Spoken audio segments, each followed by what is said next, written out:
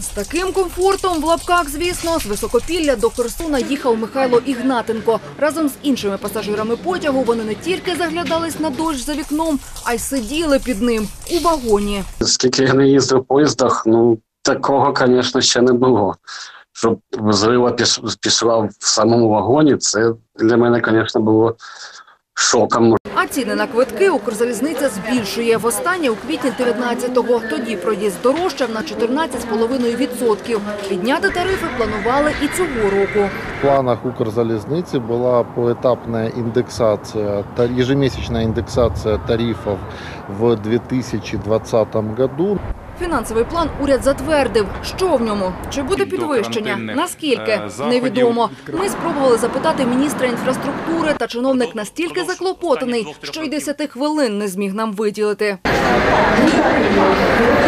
Квитки дорожають, кажуть залізничники, бо треба гроші, щоб оновлювати поїзди.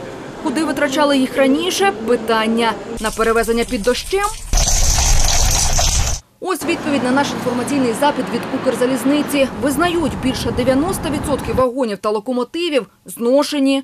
В інвентарному парку Укрзалізниці 3900 пасажирських вагонів, серед яких у робочому парку 2,5 тисячі, зношеність 92,8% Що ухвалили урядовці, пасажири одразу дізнаються, коли прийдуть в касу за квитками. А як планувати свої витрати промисловцям? За вантажні перевезення залізничники теж хочуть більше грошей. Укрзалезница ежегодно придумывает возможности, каким образом повысить стоимость перевозки. То они загоняют стоимость э, железнодорожных вагонов. 9 тысяч железнодорожных вагонов, принадлежащих государству, стоят на приколе, ими никто не пользуется. Они самые дорогие. Мы, конечно, не согласны платить больше за тот сервис, который предоставляет Укрзалезница. Нові тарифи Укрзалізниці для частини промисловців будуть непосильними. Перевозити товар їм доведеться автівками, а це навантаження на дороги, які й так ледь витримують. Транспортні тарифи під контролем могла б тримати незалежна структура. Нормальна практика, коли, коли є незалежний орган, який е, встановлює справедливі обґрунтовані тарифи. Коли закупівля окремих товарів чи послуг на Укрзалізниці в 2, 3, 4 рази вище від середньоринкових, вибачте, це корупція. І це не повинно лягати на ван- на вантажовідправника чи власника вантажу.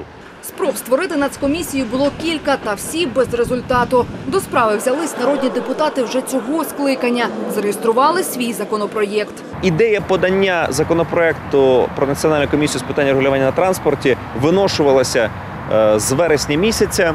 Ми сподівалися, що е, Міністерство інфраструктури подасть свій проект закону. Такий законопроект ми до сих пір не отримали від міністерства. Тому 23 липня ми подали свій варіант, який ми напрацьовували з різними стейкхолдерами, в тому числі і бізнесом. Бути чи не бути нацкомісії, що регулюватиме транспортні тарифи, має вирішити парламент. Та вже не раніше вересня. Зараз у депутатів канікули.